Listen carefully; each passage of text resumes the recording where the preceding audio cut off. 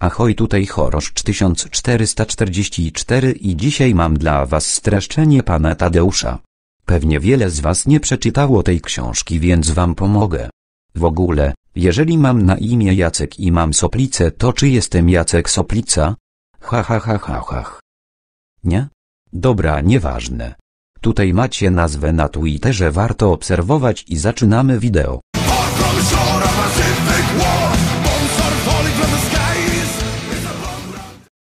W porządku więc zacznijmy od ogólnych informacji na temat tej książki. Książka Pan Tadeusz to epopeja narodowa czyli utwór o szczególnym znaczeniu dla jakiegoś narodu. Była ona tworzona od 1832 do 1834 i ostatecznie wydana w 1934. Napisana została we Francji i w Paryżu podczas trwania tak zwanej Wielkiej Emigracji. Autorem utworu jest znany Litwo-Polak Adam Mickiewicz. Dobrze więc przejdźmy może do samej książki. Utwór rozpoczyna się inwokacją czyli zwrotem Mickiewicza do Litwy i do Matki Boskiej. Tak, w sumie to jest to dosyć ważne więc zalecam zapoznać się z jej treścią klikając w kartę u góry. Nie zawiedziecie się. No to teraz fabuła. Akcja utworu rozgrywa się w Soplicowie, niewielkiej miejscowości położonej nad Niemnem. Dwudziestoletni Tadeusz Soplica wraca z Wilna, gdzie pobierał nauki. Wchodzi do swojego starego mieszkania gdzie przez okno zauważa młodą i piękną dziewoję. Ta na jego widok zaczyna piszczeć i ucieka. Smutna minka. Później do Tadeusza przychodzi wojski który zaczyna się z nim witać. Następnie obaj wychodzą na przywitanie z sędzią Soplicą który był stryjem Tadeusza. Wieczorem wszyscy spotykają się na uczcie. Nasz Tadeusz poznaje tam Telimenę, którą myli sobie z tą dziewczyną, którą zobaczył przez okno, czyli Zosią i zaczyna tą Telimenę podrywać. Istotne jest to, że całe to spotkanie odbywa się w zamku należącym niegdyś do rodu Choreszków. Obecnie rodzina Sopliców toczy spór o jego własność ze spadkobiercą rodu Choreszków, hrabią. W takcie tejże uczty poznajemy rejenta i asesora.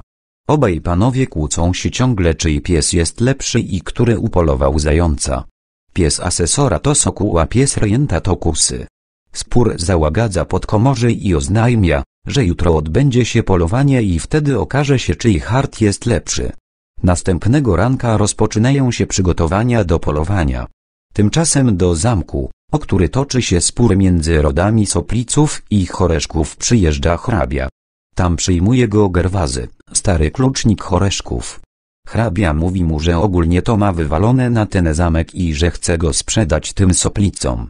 A Gerwazy do niego, że on chyba oszalał i że tym draniom Soplicom nie można ustępować. Dlaczego Gerwazy aż tak nienawidził Sopliców? Niegdyś mieszkał w nim stolnik Choreszko, którego Gerwazy był wiernym sługą. Ten stolnik miał córkę Ewę Choreszkównę, w której zakochał się młody Jacek Soplica. Gdy Jacek chciał poślubić Ewę, to przyszedł stolnik i powiedział Nie, nie ma. Nie ma. Nie ma. Wtedy młody Jacek się wkurzył i go zastrzelił. I go zabił.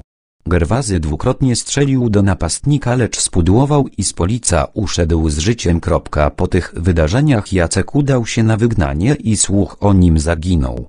Gerwazy poprzysiągł sobie walkę z Soplicami. Gdy hrabia usłyszał o przeszłości zamku postanowił nie sprzedawać zamku. Ой шармукшня шармукшня курту ауге тарбалу хе хе ай ай ай курту ауге тарбалу курту ауге тарбалу тарбшо жалу саману хе хе ай ай ай Z oddali przygląda się im hrabia i zaczyna szkicować w kajecie. Następnie podchodzi do Talimeny i zaczynają rozprawiać o sztuce i różnicach w przyrodzie litewskiej i włoskiej. Telimena ukradkiem wręcza Tadeuszowi liścik i klucz do jej sypialni. Dźwięk dzwonów daje wszystkim sygnał do powrotu na obiad. W trakcie posiłku przybiega Gajowy i informuje o grasującym w okolicy niedźwiedziu. Wszyscy jednogłośnie postanawiają zorganizować nazajutrz polowanie. Następnego dnia wszyscy zbierają się pod dworem, lecz zapomniano obudzić Tadeusza. Budzi go dopiero Zosia. On szybko wstaje i idzie do karczmy Żyda Jankila pogadać se o polityce. Tam ksiądz Robak przygotowuje szlachtę na przybycie Napoleona Bonaparte. Wtedy Robak zobaczył przez okno Tadeusza i postanowił podążać za nim. W lesie trwa polowanie na niedźwiedzia. Nagle zwierzak pojawia się i wkurzony atakuje hrabiego i Tadeusza. Do misia strzelają trzy osoby. Asesor, rejent i robak. Misio pada trafiony w głowę. Do zwierzaczka podbiegają rejent i asesor i natychmiastowo rozpoczynają kłótnię o to kto wystrzelił zabójczy pocisk. Okazuje się, że to robak zabił pana misia i uratował Tadeusza i hrabiego. Po powrocie z polowania odbywa się uczta. Telimena przedstawia na niej swoją wychowankę Zosię. Wtedy Tadeusz ogranął, że się pomylił i że to w Zosi jest zakochany, a nie w Telimenie. Od tego momentu w stosunku do Telimeny zachowuje się gburowato. Ona pyta się go dlaczego jest taki lecz wie, że to przez Zosię. I wtedy Tadeusz się denerwuje i wychodzi z chałupy. Udaje się do świątyni Dumania. Tam znajduje załamaną Telimenę. Widzi jak kobieta miota się i w ogóle tak jakby była paralizatorem smażona i rusza jej na ratunek. Okazuje się, że Telimenę oblazły mrówki i zaczęły ją kąsać. Wtedy Tadeusz pomaga jej łapać te mrówki i w ogóle jest romantiko fantastiko, ale nagle łupie dzwon wzywający na wieczerzę do zamku.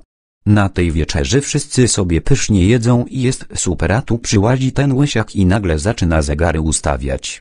To powodowało straszny hałas i nagle ni stąd ni zowąd rozpoczyna się taka mocna kłótnia o prawa do zamku. W ogóle tam się rzucają szklankami, stołami i niezła dzicz jest. Po całym incydencie pan Gerwazy i pan hrabia obrażają się na cały ród Sopliców i planują zorganizowanie zajazdu. No czyli takiego ataku na Soplicowo. Nazajutrz do sędziego przychodzi ksiądz Robakson i gada mu, że po co ta cała kłótnia i że ważniejsza od sporu jest sprawa narodowa. Później jeszcze tam mu gada o Telimenie, że podrywa Tadeusza, a że Jacek chciał, żeby Tadeusz się z Zosią ożenił, a nie z nią i że jeszcze dlatego, że Zosia jest z rodu Choreszków, to gdyby Tadeusz ożeniłby się z nią, to pogodziłby dwa skłócone rody. Następnie planują powstanie pod wodzą Sopliców.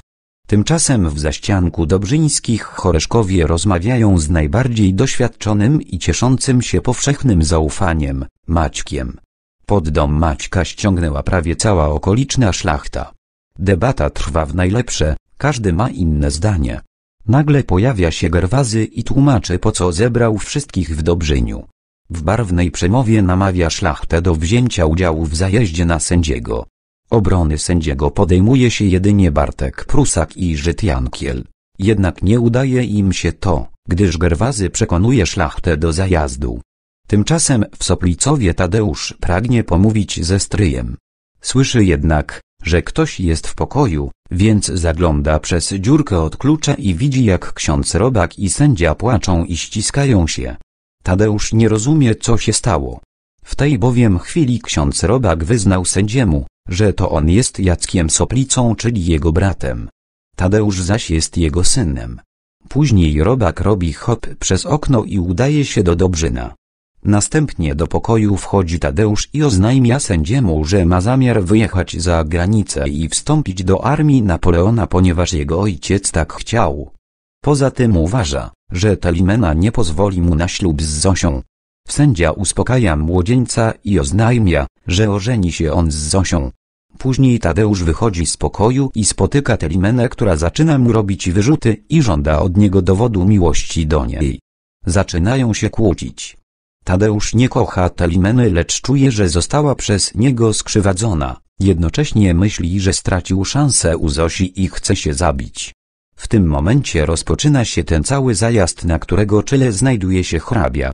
Wszystkich domowników zajazdowicze pozamykali w domach, tymczasem zabijają zwierzęta i plądrują dwór. Biorą alkohol, robią balangę i wszyscy usypiają. W nocy napadają na nich Ruski i aresztują Dobrzyńskich. Na ich czele stoi oficer rotny Nikita Rykow i major Płód, który każe buntowników zakuć w dyby. W tym czasie sędzia próbuje wpłynąć na Rosjan, żeby załatwić sprawę ugodowo. Wtedy Ruski się upijają, ten major Płód całuje w rękę Telimenę i wtedy on wstał. Tadeusz wstał. I mu walnął z liścia. Rozpoczyna się bitka. Ksiądz Robak daje Tadeuszowi broń, lecz ten nie trafił. Po tym wydarzeniu szlachta się jednoczy i stają do walki przeciwko Rosjaninom. Gdy Ruski strzelają w hrabie wyskakuje Robak i przyjmuje trafienie na siebie. Później Rykow mówi Płutowi, że lepiej to by było tą bitwę rozstrzygnąć pojedynkiem Tadeusza z Płutem. Jednak do pojedynku zamiast tego staje hrabia i Rykow. W tym czasie oni robią oszukanko, bo ten Płut każe jednemu ze swych żołnierzy strzelić w Tadeusza. Ten jednak pudłuje i walka rozpoczyna się od nowa. Ostatecznie bitkę wygrywają Polacy, bo przewrócili wieżę do robienia serów i spadła na ruskich. Po bitwie Robak powoli umiera, bo do rany wdała mu się gangrena. Na łożu śmierci wyjawia klucznikowi Gerwazemu, że nazywa się Jacek Soplica i to on zamordował niegdyś stolnika. Opowiada historię swojego życia. Miłość do Ewy, emigrację, pracę na rzecz ojczyzny i chęć odkupienia win. Gerwazy wybacza konającemu. Robak umiera.